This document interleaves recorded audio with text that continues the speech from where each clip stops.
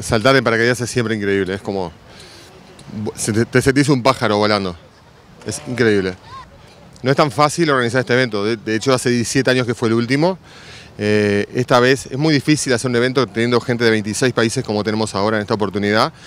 Eh, hay que lograr varias cosas que pudimos lograrla en este momento y básicamente no tiene lógica lo que pasó porque es muy complejo hacerlo y la lógica es hacerlo en el hemisferio norte, pero acá todo el mundo empujó para que saliera, desde nosotros que estamos en la organización hasta cada uno de los actores, la Intendencia, la Fuerza Aérea, el aeropuerto, todos nos embarcamos en una misión increíble y como decimos siempre, a la Uruguaya, a la Uruguaya siempre se puede, no hay montaña que no podamos superar. Hay tres requisitos para poder hacer un evento de estas características, que es tener un buen lugar, que es Punta del Este, es tener un lugar seguro para aterrizar, que tenemos el aeropuerto, y tener un buen avión, que ahí alquilamos el avión de la Fuerza Aérea, que fue un gran apoyo.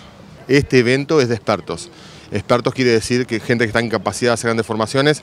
La gente que está en este evento tiene una media entre 1.500 y 10.000 saltos. Yo salto de paracaídas hace más de 30 años, pero es la primera vez aquí en eh, Uruguay, eh, especialmente aquí en Punta del Este, con un visual tan bonito. Vivo en uh, Estados Unidos, uh, USA, pero yo soy alemán. 23, 23 años de paracaidismo y yo soy uh, 7000 paracaidismos. Oh.